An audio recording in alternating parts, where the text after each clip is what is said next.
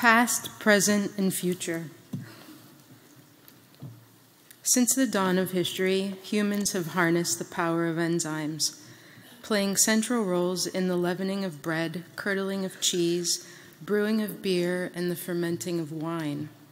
Over the last 30 years, we have witnessed an unprecedented expansion in our understanding and use of enzymes in a vast range of research and industrial applications. Today, we are in the golden age of enzyme technology. The decades of the 80s and 90s changed the landscape. A multi billion dollar industry with broadening applications related to food, textiles, leather, pulp, and paper, enzymes are the focus of intense research in the biomedical community. The workforce of DNA sequencing, enzymes were indispensable for scientists completely mapping 3.2 billion base pairs of the human genome, as well as the driving force behind the therapeutic drug market for HIV AIDS related therapies.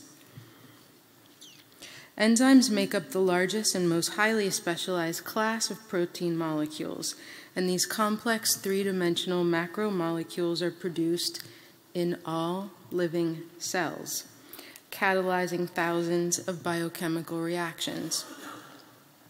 Each enzyme has a distinct overall size and shape, setting up precise lock and key conformations for specific bond cleavage. Enzymes are highly efficient and are capable of accelerating reaction rates by 100 million to 10 billion times faster than without them. Paper conservators have long valued enzymes and have incorporated them into wet treatment procedures to expedite the breakdown of intractable and cross linked adhesive residues and to facilitate the removal of secondary backings and linings.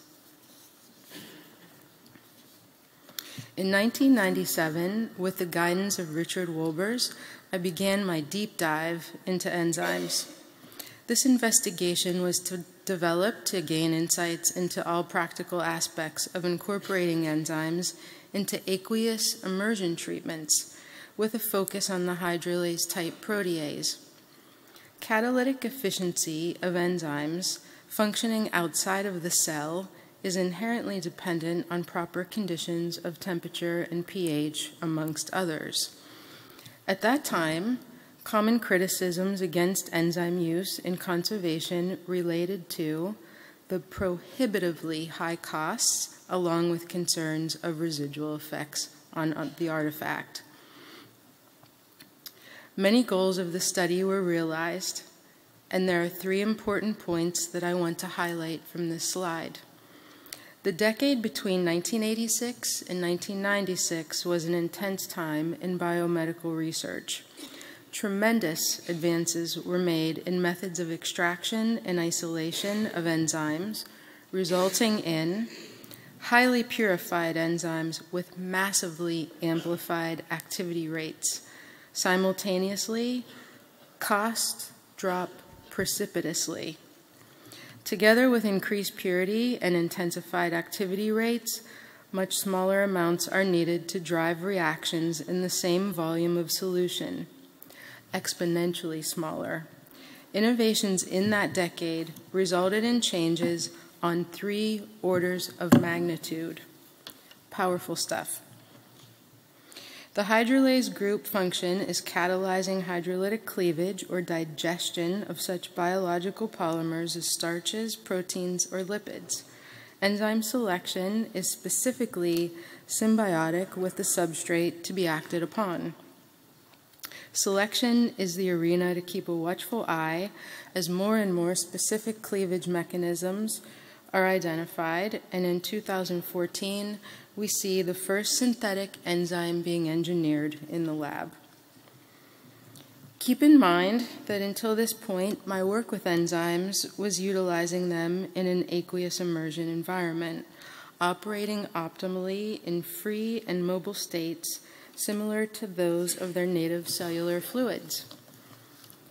In the year 2000, this 342 year old patient came into my life.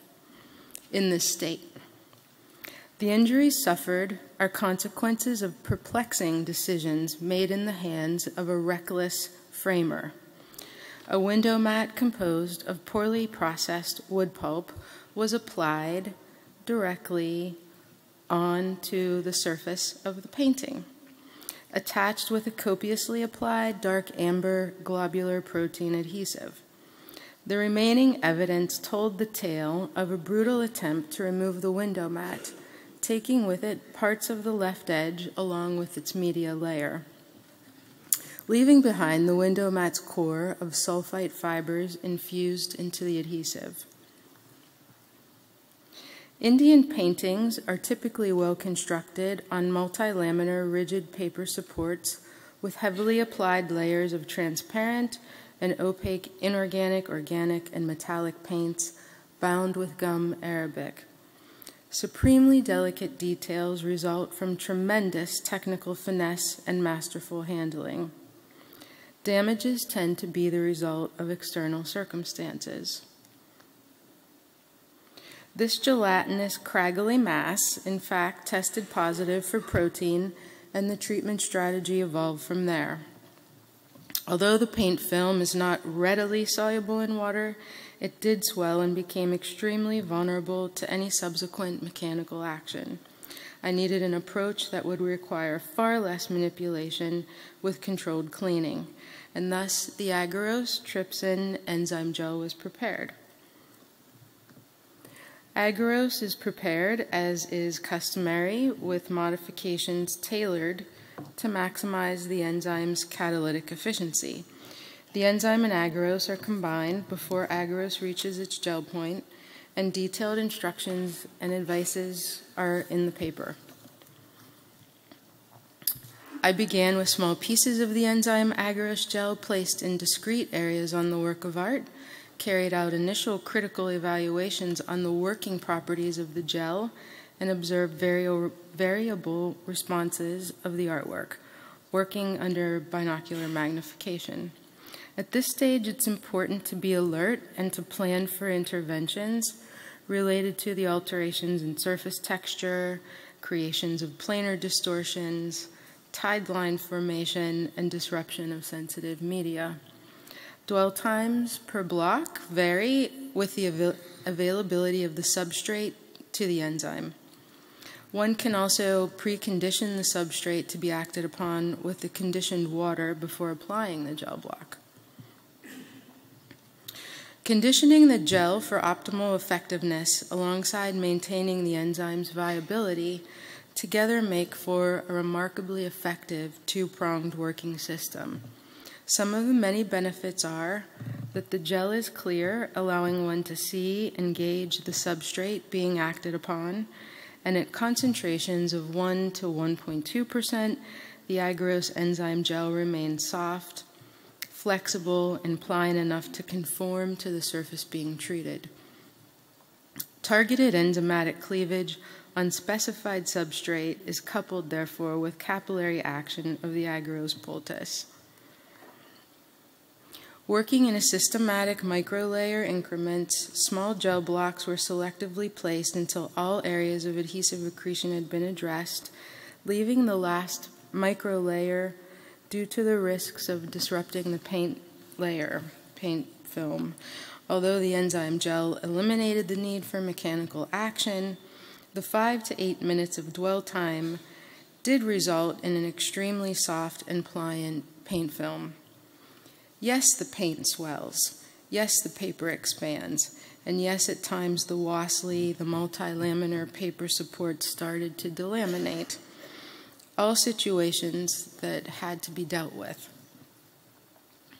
As with any conservation treatment, a host of complex parameters are to be kept in mind while gauging risks against ideal outcomes, a constant balancing act. Gaining an empirical understanding of these powerful cleaning systems on surrogates is highly recommended. Brahma receiving an offering remains the most dramatic successful, and rewarding enzymatic gel treatment in my portfolio. The most challenging and difficult treatments have their way of demanding more of us and pushing us to expand. Additionally, I offer you the following seed pearls of inspiration to briefly illustrate other cases where enzyme gels have proven to be a valuable tool, in many instances dealing with water sensitive supports. Facilitating the removal of layers of old guards and embedded adhesives, gels minimize moisture and with enzymes reduce dwell time in general. Gel concentrations are slightly varied depending on the thickness of the parchment and accessibility of the adhesive. But let's not you know, get confined into formulaic thinking and definitely experiment. Higher concentrations result in longer dwell times and remarkably increased interfacial tensions when removing gels from the objects. Agarose enzyme gels can also serve the rare book conservator in facilitating the removal of entrenched adhesive residues locked into the ridges along interior spines. More delicate surfaces that cannot endure mechanical manipulation of any kind. Enzyme gel successfully reduced embedded adhesives along this spine edge from a detached manuscript a detached manuscript folio, so enabling holistic procedures to ensue, which alleviated paper distortions along with vulnerable stress points on the painting surface. Enzymes and their specificity have, have been and will continue to be exciting and powerful tools to the conservator. Of gurus and guides, I know the bodhisattvas grace the earth and we all need guides, maps, and direction. Inspiration leads to action. And the translation of dispensing boons in Bodhisattva speak is delivering the teachings. I extend my offering of gratitude to Richard Wolbers, who instilled in me a mindset that, with an understanding of the technical and physical nature of the objects, as well as learning and borrowing from many disciplines, treatment strategies can be shaped and refined to fit the needs of these unique and irreplaceable works of art in our care. Targeted treatment strategies will carry us well into the future, exploring vast opportunities for continued refinement. Thank you for your attention.